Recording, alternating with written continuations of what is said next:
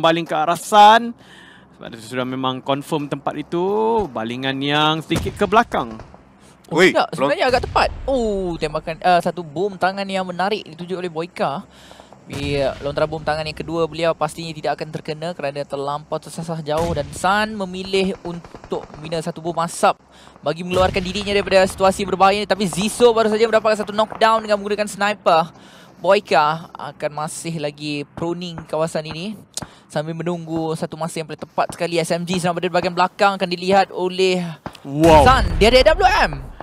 WM Sebenarnya taruh scope Kalau taruh Red dot tadi dah kena dah. Tapi dekat sini Circle seterusnya. Oh. Kakak akan lari. Uh Usah daripada tadi Dia ditekan bertubi-tubi Tak tahu di mana dia harus lari. Dia telah meletakkan beberapa asap. Saya rasa dia nak lari ke belakang. Masalahnya dekat belakang tu pun ada SMG Tidak jauh dari belakang Allah Dipaskan Daman Sarah Esports Circle seterusnya. Naik ke bahagian kiri mereka. SMG kena masuk. Begitu juga dengan pasukan uh, Dingos dan pasukan J8. Tapi Dingos bagaimana mereka nak masuk? Eh, DMS. Eh, oh, you do. You do di tengah. You do gang dapat circle. yep, Yudu Gang dapat circle waktu ini. Mereka berada di kawasan tengah-tengah permulaan yang sangat-sangat baik sebenarnya untuk Yudu Gang kali ini. Jarang mereka berada di tengah-tengah circle pada circle-circle akhir Betul. Ni. Selalunya uh, circle tu scam dia orang. Ya. Yeah. yeah. Selalu circle tu akan pergi ke tempat yang berbeza. Tapi kali ini kelihatan seperti ada kebaikan untuk mereka mungkin. Satu lag yang besar telah pun diberikan terhadap pasukan Yudu Gang. Dan ada juga diikuti oleh pasukan Team No Recall. Pasukan yang berjaya untuk mecut sehingga ke top 16. Ya, tapi dalam circle keempat ini hanya memaparkan dua saja death. Dua saja kematian. Waktu, waktu ini dua orang saja yang menjadi kotak di hujung circle ini. Walau bagaimanapun ada pasukan Daman Sarai Sport menjaga kemasukan. Dan ini akan menyebabkan kesukaran kepada SMG kepada uh, Dingos dan juga pasukan J8 kalau mereka nak masuk tidak boleh masuk sewenang-wenangnya lagi-lagi pula di sini di tengah-tengah ini ada pula Yudu Gang yang telah berjaya mendapatkan circle EVOS VIP dia ada di atas mereka dan ini ada jumper yang tidak dirindui oleh Kuza Ya, mereka akan main main line up mereka bersama dengan Drax, Fredo, Jumper dan juga Man Parang. Dan kita nampak Jumper tadi baru je men-knockdown Inci Ice Shot dengan satu tembakan mini. Botak menjatuhkan Bravo waktu yang sama. Dan dibunuh secara langsung sebenarnya Bravo. Ya, oh. Dingos. Peluang mereka telah pun kurang 25%. Bos juga Bosku Oh Sam terlalu jauh sebenarnya Untuk diselamatkan oleh Z. Dan juga Ngah Begitu juga dengan Ngah. Ngah sudah ditembak bertubi-tubi Daripada bahagian atas. Easy Alex nampak akan lebih Pergi ke depan. Sun akhirnya dibunuh oleh J8 Ketika ingin masuk Resurgence maupun Iron Pro mendapatkan Norland Rift telah pun dijatuhkan NSP menjatuhkan Sam daripada jarak jauh. Boyka juga dijatuhkan oleh Yuhai Nampaknya circle ini bertindak kejam pada mereka yang berada di tepi-tepian Yang bukan berada dalam circle jadi Sebab mereka semua bergegas untuk masuk dan mereka akan ditembak. SMG Akan ditembak oleh Jenny, ditembak oleh NSP Itu juga dengan TRX Jimbo dijatuhkan Matau. Dengan pun kosongan balas. Ya, tapi itulah dia. Sekarang ini tidur Dia membalas kembali tembakan terhadap pasukan NDD yang sedang berada di bahagian atas. Tembakan ke arah Psycho tapi Psycho berjaya untuk mendapatkan satu knockdown. Tembakan yang baik Psycho memberikan satu kejahatan kejahatan untuk pasukan Easy. Untuk Easy sekarang ini bukan easy untuk mereka. Susah. Begitu sukar sekali untuk mereka masuk ke bahagian belakang. Tempat yang terbuka. Kalau mereka nak lari ke belakang, confirm pasukan AD akan nampak. Dan dua orang pemain telah pun jatuh sekarang ini. Tinggal dua saja lagi yang masih hidup. Tapi masih lagi tak tentu. Adakah di bahagian belakang mereka ada enemy ataupun tidak. Atai dah jatuh terlebih dahulu. East cuba untuk membantu tapi lambat sekarang ini. Dua orang pemain masih berdiri. Untuk pasukan daripada Easy SMG pula datang pada bahagian kanan. Kali ini confirm susah untuk NED dan juga Easy LX bagi mempertahankan kedudukan mereka. Kalau mereka terlalu lalai, pasukan SMG akan masuk. Dan ya betul, mereka seakan-akan memang nak masuk dan memang akan kacau pasukan NED dan juga Easy sekarang. Tetapi Easy dia telah penjatuh dua pada waktu ini walaupun mereka berada di atas carta tetapi mereka tidak makan circle fake kemungkinan besar tidak dapat diselamatkan. Oh! Hampir diratakan oleh Nebrado. Dingo akan dikeluarkan terlebih dahulu. Circle yang keempat begitu kejar untuk ramai dan Nebrado lakukan nampakkan satu lagi tapi dia tak tembak. Alah! Auto end dulu! Memang sempat masih di depan muka tapi dia tak buat apa-apa. Jadi Skizo sempat untuk mempertahankan kedudukan mereka. NDD yang keluar dulu pula. dia sempat end. Oh kat kiri tengah versi 8 dia sempat end. Okay, sampai kita nampak empat tim akan berada dalam blue zone masih waktu ini dan Kim bermain begitu baik. Saya rasa dalam tangan dia sudah pun ada 3 kill untuk tim TRX. Wow. Oh, memang betul tu Yuhai walaupun baru waktu sama menjatuhkan Zuli 14 tim. Tadi baru saja di circle keempat tu nampak seperti game akan bermain dengan lebih perlahan. Tetapi dengan adanya begitu ramai orang dalam circle ketika saat-saat akhir ini menyebabkan apabila di last-last circle ini pertarungan akan berlaku dengan begitu cepat tiba-tiba saja tiga pasukan telah pun hilang Ya, pertarungan tiga arah di tempat lain tapi kat sini nampak bosku. Satu tu knockdown tinggal satu orang saja. Sekarang kita akan ditembak semula.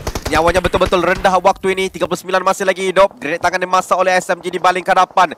Jenny macam biasa, grenade beliau sangat berbisa. Ada kena target itu persoalannya. Yo. Satu kena ngah betul-betul rendah dan mereka tahu kita boleh bunuh secara langsung player tersebut dan Bat akan dihantar ke depan. Oh. Tapi Putra punya grenade akan menjatuhkan satu lagi player dan Bosku dikeluarkan tempat ke-13. Semua pakai bom tetapi itulah dia berjaya untuk mendapatkan Mosgoku daripada Ryan tetapi pasukan SMG mereka cuba untuk mencuri cuma tak sempat untuk melakukan apa-apa waktu-waktu akhir tapi Zik dia telah bergerak masuk ke bahagian dalam Echong terpaksa berhenti secara tiba-tiba tidak mengapi tidak tahu mengapa dan Kim berjaya untuk menjatuhkan Yuhai dari satu kedudukan yang agak jauh dan DMS mereka akan langgar satu squad sekarang ini. Dan squad yang akan dilagai oleh pasukan Team No Recall dua orang pemain akan jatuh meninggalkan Echong tapi Echong sebabkan dia punya bagi meletup Dia tak sampai ke tempat yang mereka akan hilang tadi Iaitu tim no recoil Ya, waktu yang sama terdapat Jade. Mereka akan maju ke arah sebelah tim Secret. Yuhai di knockdown. TRX masih di kawasan tersebut. Tembakan lepaskan Yuhai dijatuhkan secara langsung.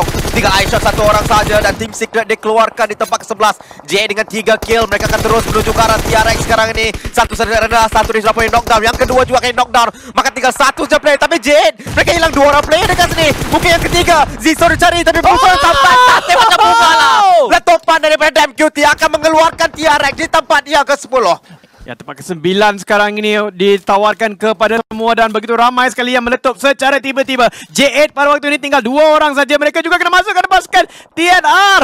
TNR sedang menjaga satu komponen yang begitu baik. Ada peluang untuk mereka chicken yang besar sebenarnya. NRF pemburu satu tapi tinggal mungkin tak pasukan NRF. Tapi EVOS VIP masih ada empat orang. Yudu juga ada empat orang pada waktu Oh Yudu gang Sekali lagi mereka dapat circle daripada jauh Dia akan lihat saja pemain-pemain yang sedang berada di luar Tapi jumper akan dihantar ke depan Dia akan dijadikan sebagai pemburu kill di bahagian depan. Tapi dia akan kembali ke rakan-rakannya. Daman Sarah Esports dikeluarkan di bahagian ke-9 JA dikeluarkan di tempat ke-8 Tapi jumper dia dapat bokeh.